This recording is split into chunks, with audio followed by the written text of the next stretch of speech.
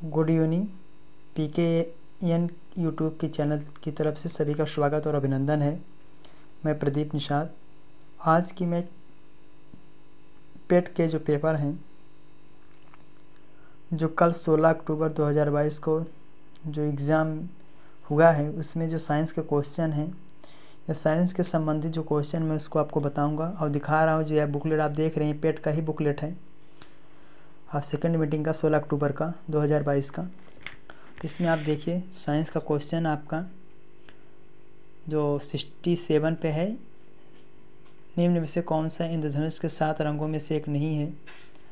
वो आपका है सफ़ेद। इंद्रधनुष के जो रंग को अगर आप देखेंगे, इंद्रधनुष क्या होता सबसे पहले यही समझिए, जब बारिश के जो मौसम होती है, अगर बारिश के मौसम होता है जब वर्षा का पानी अगर आसमान रुक जाता है तो उसमें जो प्रकाश, सूर्य का प्रकाश पड़ता है तो परावर्तन के पश्चात इंद्रधनुष का आपका निर्माण होता है। इसके अलावा, एक चीज़ और आप देख सकते हैं, अगर प्रकाश को प्रिज्म से गुजारेंगे तो इसमें आपका भी और आएगा तो उसमें वर्ड विक्षेपण के प्रोसेस से आप देख सकते हैं, उसमें भी आपको सफ़ेद रंग नहीं दिखेगा।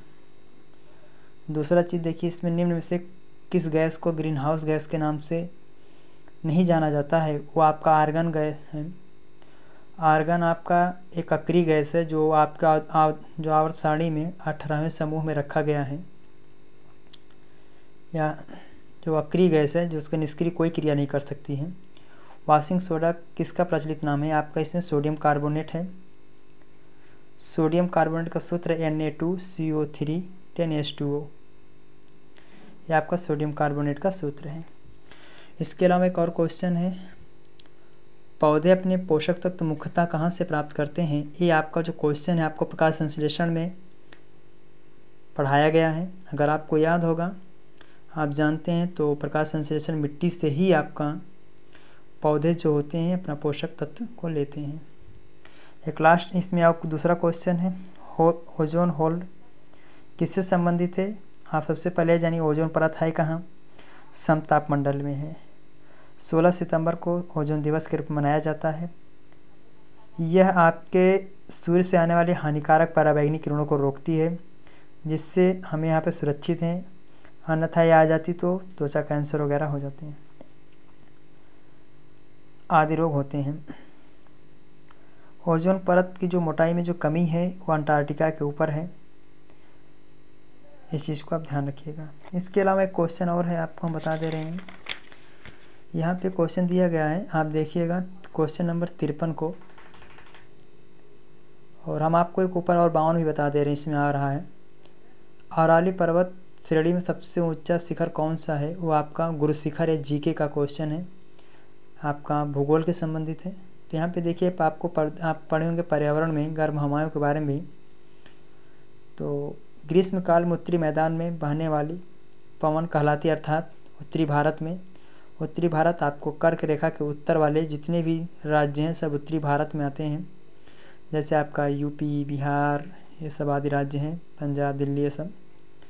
इसमें आपका गर्मी के दिनों में आपको लूह बह, जिसको आप कहते हैं, जो बहती हवाएँ, वो आपका लूह होता है।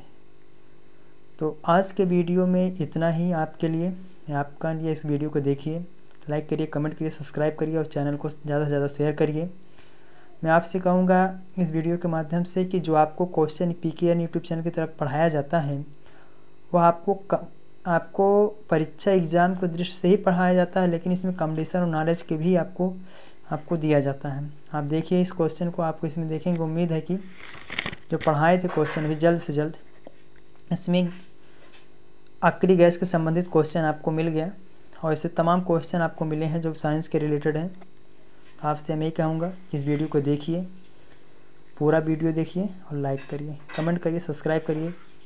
आज की वीडियो में इतना ही। सभी को धन्यवाद।